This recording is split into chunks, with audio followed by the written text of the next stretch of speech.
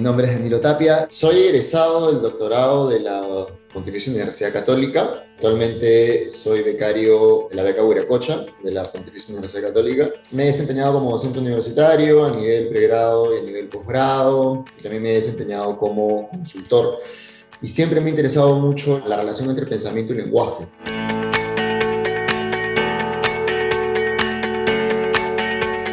Permanencia de Derrida como referente teórico proviene de su gran influencia en el campo de los estudios literarios y de la crítica literaria. La escuela de Yale ha sido, creo, muy influyente en la difusión de la así llamada deconstrucción como método de crítica literaria. ¿no? Y eso a mí siempre me llevó a preguntarme acerca de qué tanto se estudia filosóficamente al pensamiento derridano, desde una perspectiva estrictamente filosófica. Por eso me parece importante estudiar el pensamiento de Derrida para tratar de de comprenderlo en sí mismo, comprenderlo de sus premisas y tratar de ir más allá.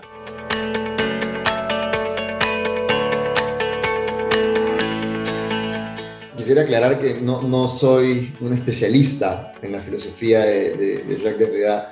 La investigación en la cual se basa este libro es en realidad mi tesis de maestría, que escribí hace varios años.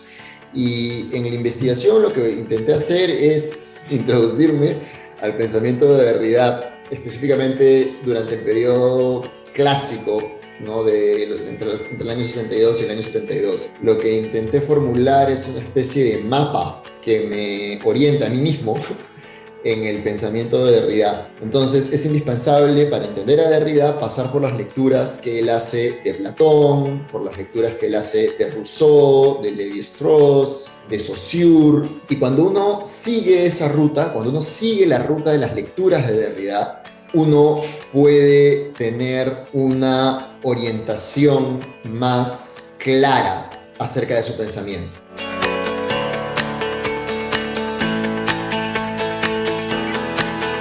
En el periodo entre el 62 y 72, de construcción significa más o menos lo siguiente.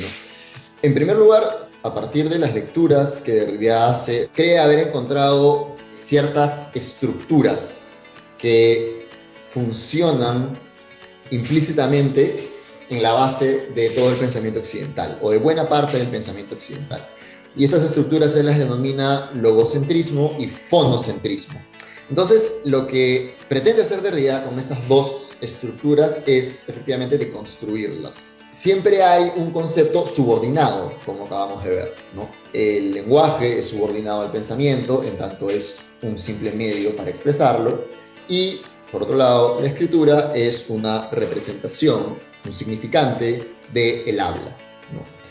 Entonces, de construir básicamente es identificar cuál es el término de la dualidad que es subordinado, que es considerado secundario, y definirlo de la forma más estricta posible.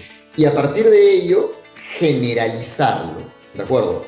Entonces, lo que hace Derrida, por ejemplo, con la relación entre escritura y voz y habla, es lo siguiente, ¿no? Él lo que trata de hacer es analiza el concepto de escritura de modo tal que él demuestra o cree demostrar que los rasgos esenciales del concepto de escritura son aplicables a todo lenguaje. Eso es lo que él llama la generalización del concepto de escritura. Entonces, mediante esa generalización del concepto de escritura, él intenta demostrar que hasta cierto punto todo es escritura, incluyendo el habla, incluyendo toda forma de lenguaje. Eso es básicamente la operación de la deconstrucción, identificar cuál es el elemento subordinado de la dualidad y generalizarlo y demostrar que incluso el elemento dominante de la polaridad puede entenderse desde ese elemento subordinado.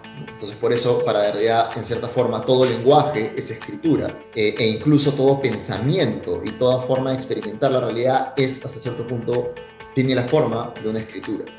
Eso es básicamente eh, como podríamos explicar lo que significa de construcción para Derrida en este periodo.